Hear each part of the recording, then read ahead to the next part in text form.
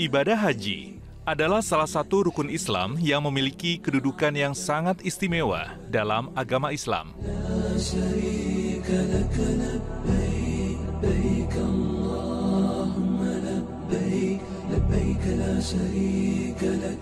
Setiap tahun, jutaan umat muslim dari berbagai belahan dunia berkumpul di tanah suci Mekah untuk menjalankan ibadah yang penuh makna ini.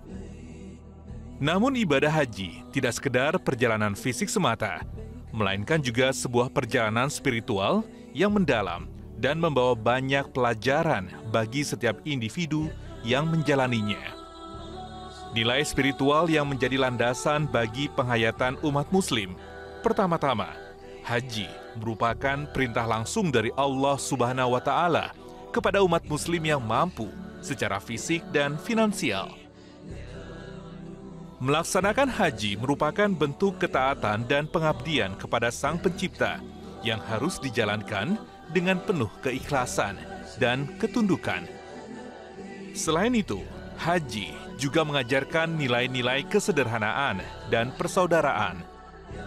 Saat melaksanakan haji, semua jemaah haji mengenakan pakaian ihram yang sederhana dan seragam tanpa memandang perbedaan status sosial atau kekayaan.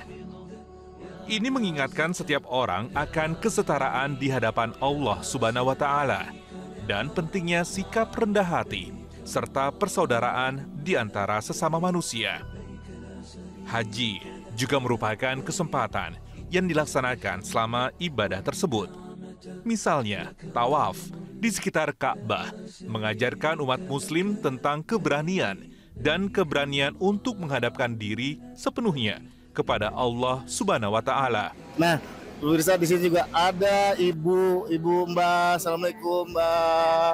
Saya sama Mbak, saya harus saling dulu sama orang tua. Salam ya Bunda. Mbak, ini kita persiapan Haji Budi Kuca kan mau ke Tanah Arafah dan Mina. Kira-kira persiapannya apa nih? Untuk di sana nanti ibadahnya. Sudah Mbak udah siap ya? Ya. Fisiknya udah siap ya? Iya, Harus iya. sehat ya Mbak? Iya. Usia berapa sekarang Mbak? 78. 78. Alhamdulillah masih sehat ya Mbak ya? Alhamdulillah. Oke, alhamdulillah makasih ya Mbak. Sehat-sehat terus Mbak. Perjalanan haji juga merupakan waktu yang sangat penting untuk melakukan introspeksi diri dan perubahan spiritual. Selama ibadah haji, setiap individu dihadapkan pada momen-momen yang menggetarkan hati, seperti wukuf di Arafah, yang merupakan puncak dari ibadah haji. Saat itu, umat Muslim berdiri di bawah terik matahari, menghadapkan diri kepada Allah Subhanahu wa Ta'ala, memohon ampunan, dan melakukan refleksi mendalam atas dosa-dosa dan kesalahan yang telah dilakukan. uh, mindsetnya harus kita uh, tanamkan bahwa harus positive thinking ya tidak usah memikirkan hal-hal yang tidak perlu kita pikirkan istilahnya sosial media yang bikin kita takut selama ini Insya Allah pertama adalah pemantapan keimanan. Karena semua amalan-amalan itu harus dengan iman.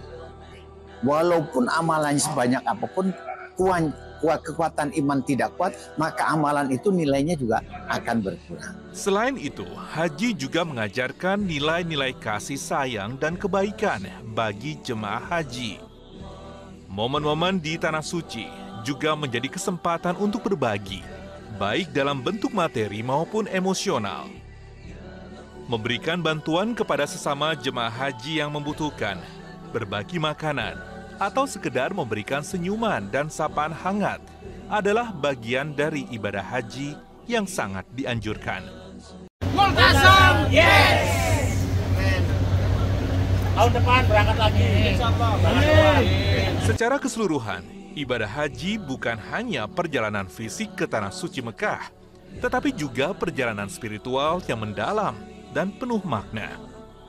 Karena dalam ibadah ini, setiap individu diberi kesempatan untuk mendekatkan diri kepada Allah Subhanahu wa Ta'ala, membersihkan diri dari dosa-dosa, dan menguatkan ikatan persaudaraan dengan sesama umat Muslim.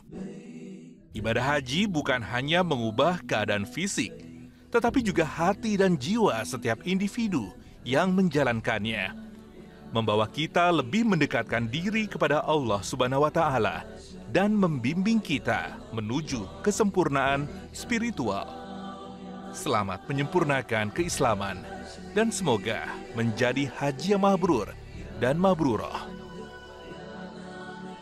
uh, ikutin travel multazam uh, sangat terkoordinasi dan terarah dan sesuai tuntunan Rasulullah SAW sehingga kita mantap di hati kita. Alhamdulillah saya mengikuti umroh di Multazam itu sampai tiga kali. Dan Alhamdulillah saya sangat memuaskan sekali mengikuti semua. Dan saya juga jujur, sangat jujur sekali bahwa travel Multazam itu sangat bagus. Pelayanan pun baik, semua baik, alhamdulillah.